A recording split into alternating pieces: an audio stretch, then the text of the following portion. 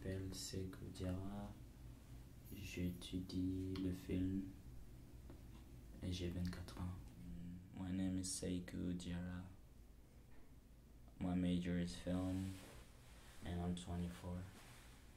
Everybody think different. You know, you just some people their dream is just want to live by, you know, go to college, get a decent job, get married, you know, that's their dream.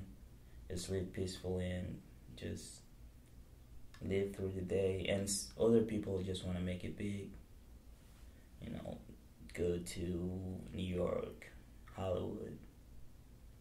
So there's not, to me, there's no typical American dream. It's different for everybody.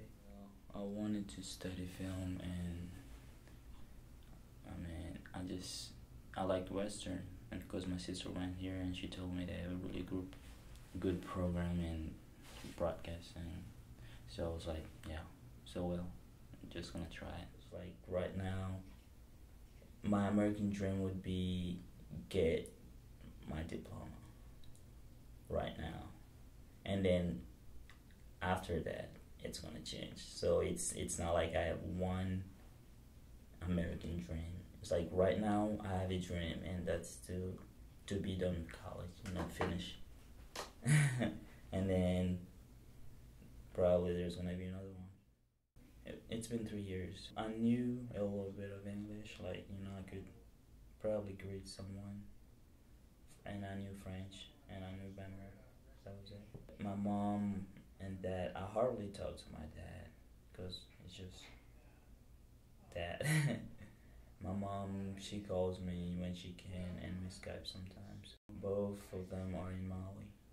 Right now, to see my success, like what I'm doing is working, and I'm going the on the right path. Like that's happiness. In ten years, I see myself on a plane going on vacation with my wife somewhere at the beach. But like to be honest, I want to travel. I don't want to be based on one country, you know. I just see myself traveling in the future like a lot. Then this happiness would be seeing my family smile, happy, everybody together. You know, we don't we have everything we need and we can get anything we need would be happiness. I would not be the person I am right now if I hadn't come here. Like I would I would have still found a way to get what I wanted, but it wouldn't it wouldn't have been this this way. It would have been more challenging.